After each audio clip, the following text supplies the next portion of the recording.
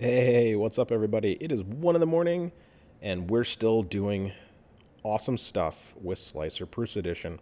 So one of the things that Slic3r can do, it's more it's more than just a slicer. I mean, okay, it is a slicer, but it can do more things than you think it can because there's hidden features that nobody talks about.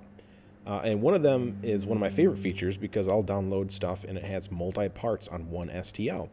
And sometimes I only want one piece of that STL and I want to print that one or let's say it's a bunch of things and you want to grow them and it won't fit all as one STL, you just want pieces, I can show you how to do that in Slic3r. And it's pretty simple. So we just have a blank slicer here. We're going to go ahead and go to File, Open. Again, you can use Command O in Mac. You can use Control O in the PC, uh, Windows PC world.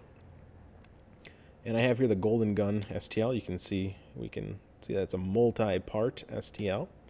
We'll open that.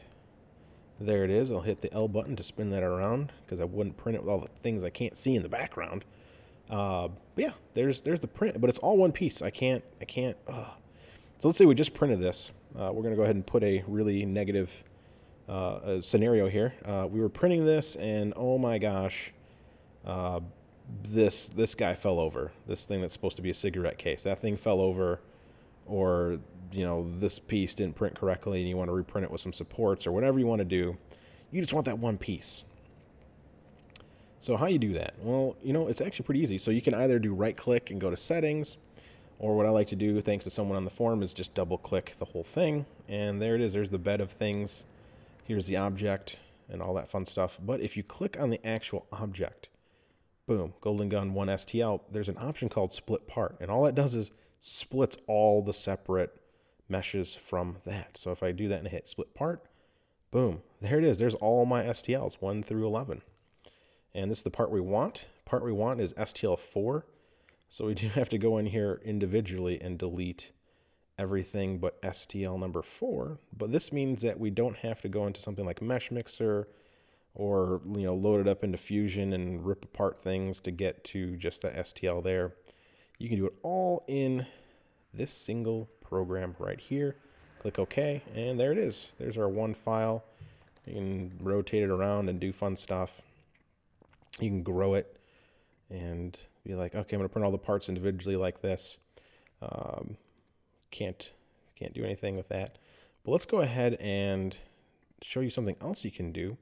So let me go ahead and go to scale uniformly. And we're going to go back to 100. And there it is we're going to do something fun here. Uh, we can actually go to File, and we can, no, no, we can go to Export Plate as STL.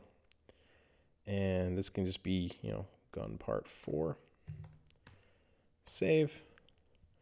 And if we go to our desktop here, and we head over to our downloads, where it put it, there it is. You can actually save out each individual part 2 for later printing.